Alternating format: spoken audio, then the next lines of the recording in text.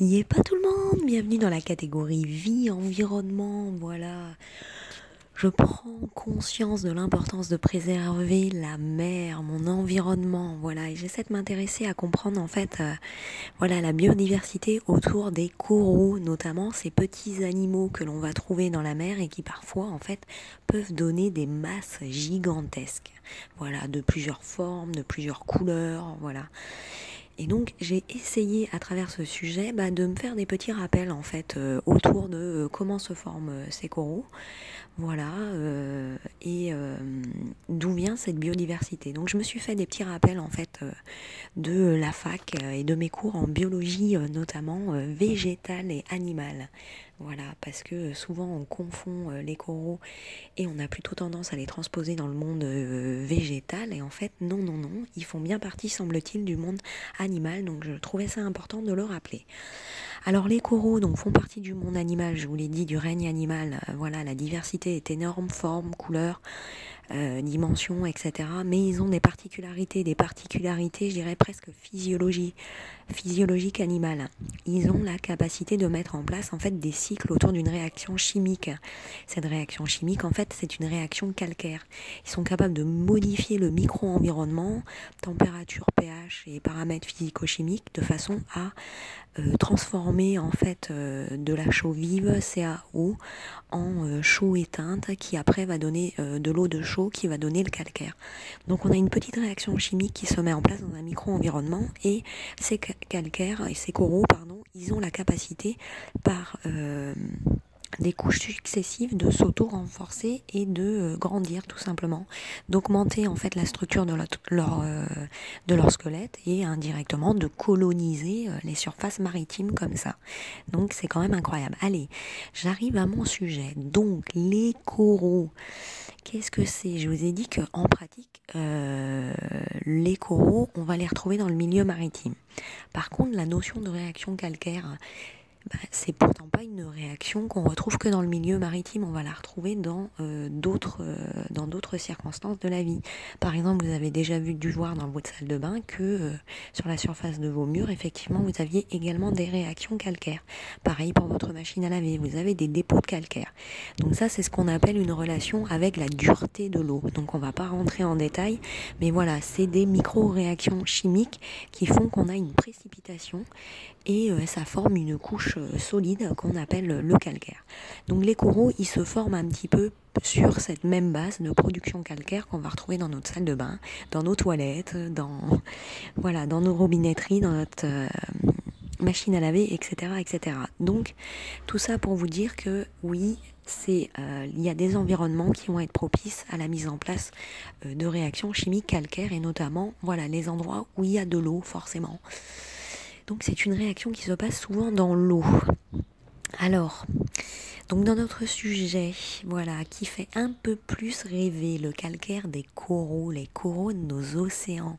Quelle est leur histoire Voilà, les regarder, c'est fascinant. On y passerait, on y passerait en fait des, heures. Tant euh, les couleurs sont magnifiques, parfois même ils sont fluorescents, euh, parfois même ils ont une capacité de coloniser des surfaces énormes. Donc on va voir comment est-ce qu'ils arrivent à progresser si vite ces coraux, mais quelle est aussi leur particularité de sensibilité? S'ils croissent vite, ils se multiplient vite, ils peuvent aussi mourir très très vite. C'est pourquoi ces euh, petits animaux, ils sont très très sensibles et comprendre leur développement nous permet de comprendre leur degré de sensibilité. Alors, le corail, vous l'avez vu, il est magnifique, on le retrouve sur la plage, la mer, il va le constituer des lagons, bref, ça nous fait rêver. Il est capable de former en fait des récifs ou des barrières en s'accumulant et il va former parfois en fait euh, des petites euh, agglomérats, des conglomérats, agglomérats de roches, voilà. Il est capable de faire de la méga colonisation, voilà. La particularité de le corail, c'est que souvent en fait quand euh, on l'explique aux enfants, on s'aperçoit qu'il le avec euh, ben, soit un monde végétal ou soit euh, de la roche. des éléments minéraux. Et non, voilà, il était important à mon sens de rappeler que non, il semblerait que dans nos investigations scientifiques, sauf erreur de notre part, non, il appartienne bien au monde animal. Donc ça, il semble que ce soit à peu près sûr. Donc si vous les observez notamment dans un, un aquarium, en fait cette roche, elle a la particularité d'être bien, enfin d'être belle, certes, mais bien vivante.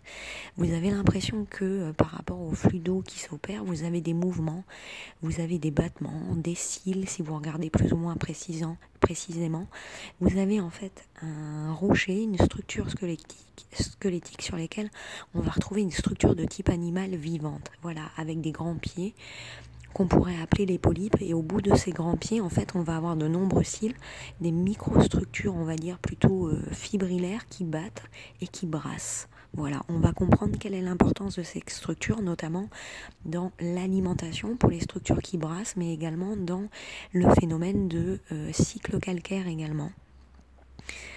Alors, donc, euh, dans votre aquarium, vous avez déjà vu tout simplement ces nombreux bras, ces polypes. Ils semblent en fait effectivement se laisser aller au flux de l'eau, se balancer, ils balayent par des coups de cils, ils agitent, ils agitent en fait les flux autour d'eau. Et en fait, pourquoi ils font ça? Parce que avec leur petite structure agrippante et un petit peu visqueuse et leur particularité physiologique animale, en fait, ils vont avoir la possibilité de capter ces nutriments et je dirais même ces micronutriments, ces micro-algues algues microscopiques en fait qui sont véhiculés dans les, les flux d'eau. Voilà.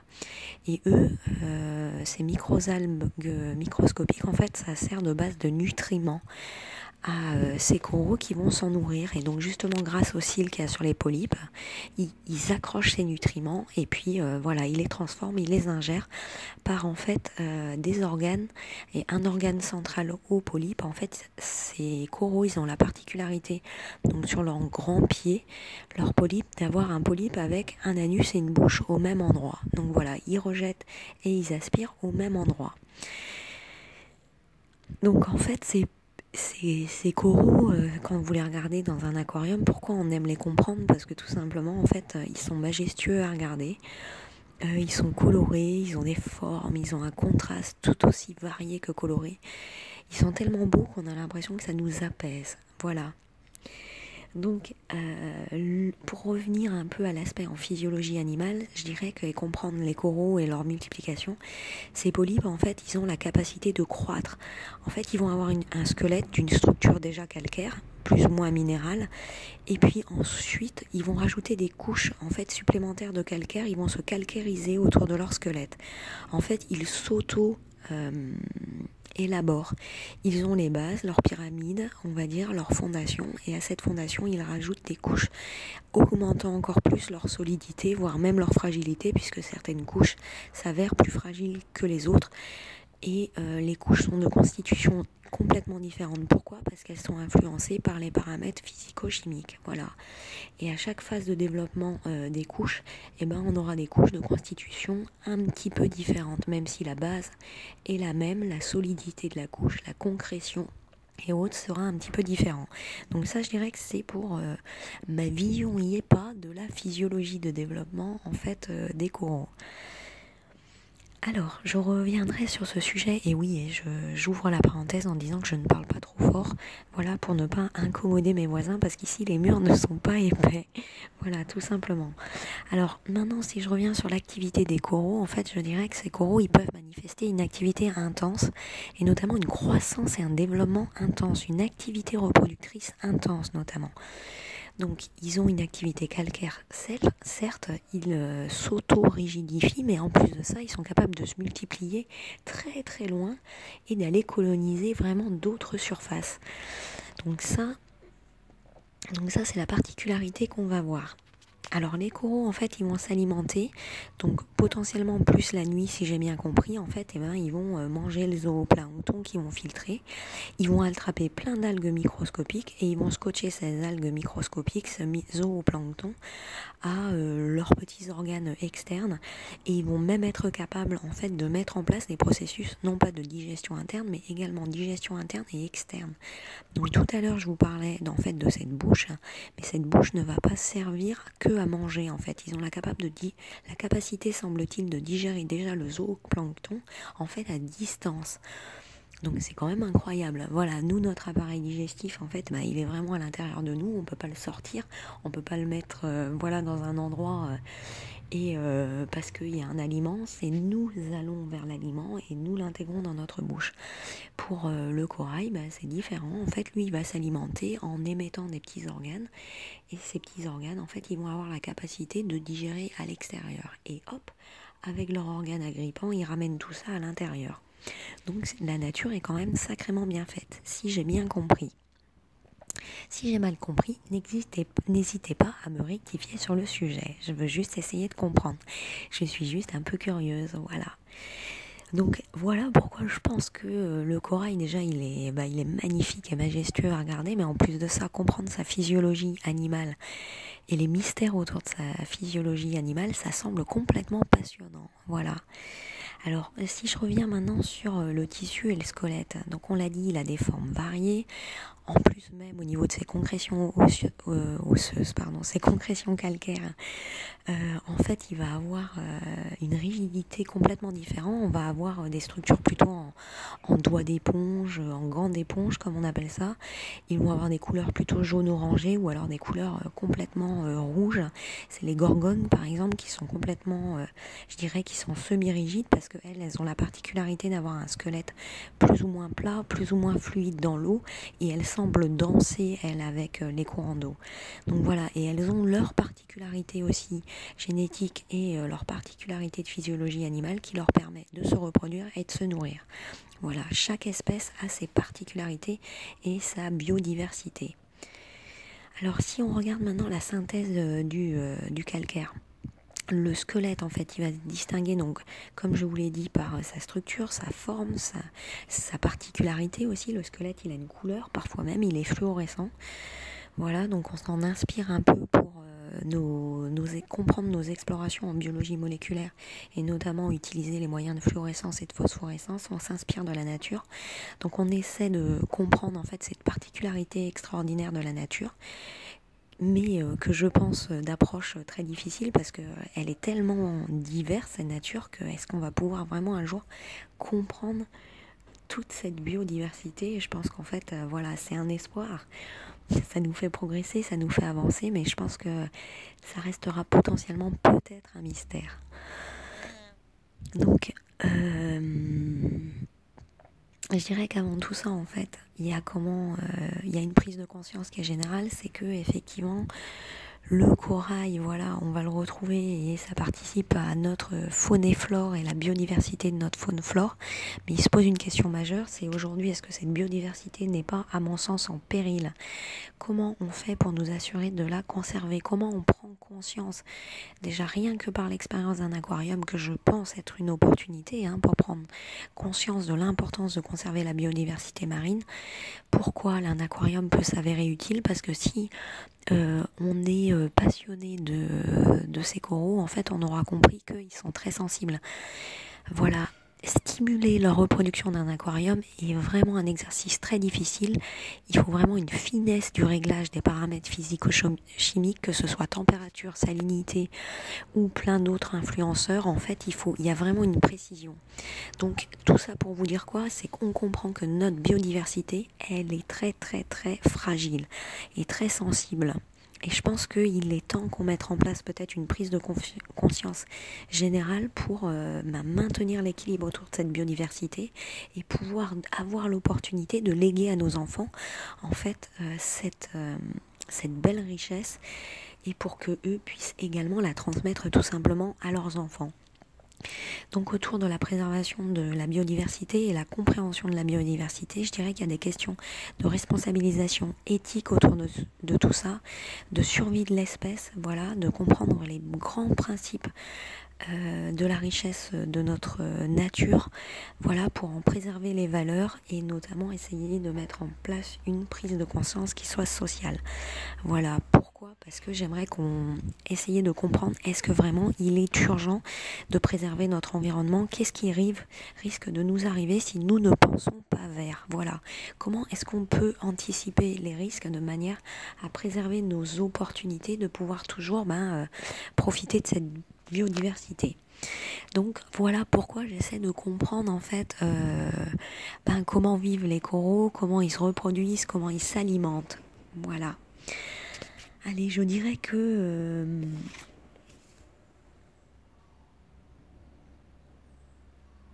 Allez, je dirais que je vais arrêter sur le sujet et que je vais vous laisser tranquille. Voilà, mais je dirais que tout simplement, en fait, c'est incroyable euh, de comprendre en fait la biodiversité d'expression des, des cellules animales. Voilà, dans le cas des coraux, en fait, ces cellules animales, elles ont la capacité de se développer en colonie. Voilà, pour mettre en place en fait une sorte de symbiose. Elles vivent ensemble. Euh, et mieux elles vivent ensemble et plus elles peuvent se développer. Il y a beaucoup de mécanismes en fait euh, qui semble super intéressant euh, de, de comprendre voilà. Comment euh, se met en place euh, ces squelettes, comment se met en place cette diversité au niveau de ces polypes, comment en fait ces, ces larves où ces spores, je dirais, elles volent et euh, elles sont véhiculées par l'eau et pourquoi elles vont coloniser d'autres surfaces, comment elles le font, comment une fois qu'elles ont colonisé une surface, elles ont la capacité de s'accrocher pour constituer euh, leur squelette, etc., etc. Donc je dirais que euh, dans dans les sciences du vivant et notamment les sciences animales, ben, on adore les étudier, on adore euh, s'en inspirer, c'est fascinant tout le tout leur mode différent de reproduction, leur mode de survie. Moi je dirais waouh, que ce soit des aquariums, des passionnés ou des gens euh, qui apprécient tout simplement euh, voilà, regarder les richesses du littoral je dirais que euh, on a constaté un point qui est évident, c'est que nous, l'homme, que ce soit en utilisant les aquariums ou pas, on a cette capacité d'influencer et de stimuler le bourgeonnement, la reproduction et le développement de ces structures. Voilà, en jouant sur les paramètres physico-chimiques, température, pH, salinité, alcalinité, et j'en sais trop rien d'autre. Voilà, donc bref, en fait, moi je dirais que nous, nous sommes des influenceurs externes et que nous semblons en fait avoir un pouvoir de contrôle sur euh, la stimulation ou pas et le fait de nuire ou pas à la vie de certaines euh, autres biodiversités animales. Donc moi je dirais qu'il faut juste en prendre conscience, voilà, faut essayer de maintenir la survie des espèces, de la biodiversité, faut agir en pensant à elles, faut essayer d'agir en les préservant, faut éviter de euh, peut-être perturber trop leurs paramètres physico-chimiques de leur environnement, voilà. Pourquoi? Ben pour pouvoir espérer en profiter encore longtemps, longtemps, longtemps, longtemps. Pourquoi? Parce que le monde maritime il est merveilleux. Et les, les coraux ne sont qu'un exemple minime de cette biodiversité. Voilà. Et euh, si euh, toute cette euh, biodiversité, en fait, elle est non maîtrisable, si on n'en comprend pas trop vraiment l'origine, si on n'en comprend pas trop comment se met en place leur mécanisme et grands principes de physiologie animale, ça reste quelque chose de fascinant et une science mystérieuse qui, une chose est sûre, même si on la comprend pas, il convient de ne pas la perturber et de la préserver. Voilà. Si on veut la garder, moi je dis y est pas, va falloir adapter nos efforts. Donc voilà, et je parle aussi pour moi et je me remets aussi en question. Donc je dis y est pas le corail, y est pas, préservons-le parce que c'est un petit être également fragile. Allez, je vous dis à bientôt, y est pas.